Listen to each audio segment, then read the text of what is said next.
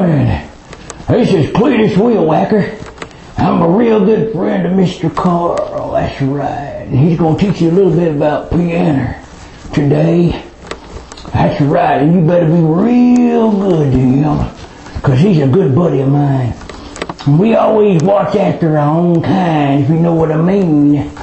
He's going to teach you a song from about that Beethoven feller.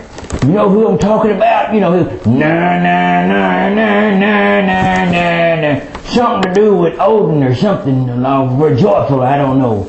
I've been out fishing for Mr. Carl because he said he'd like some fish. And I got a whopper. But I wanted to keep it because it was a good one.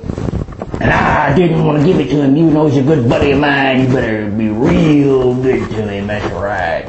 Would you like to see? I just got back from the taxidermy office. That's right. And I stuffed him really good, and I put him on a plate. Here he is, right here.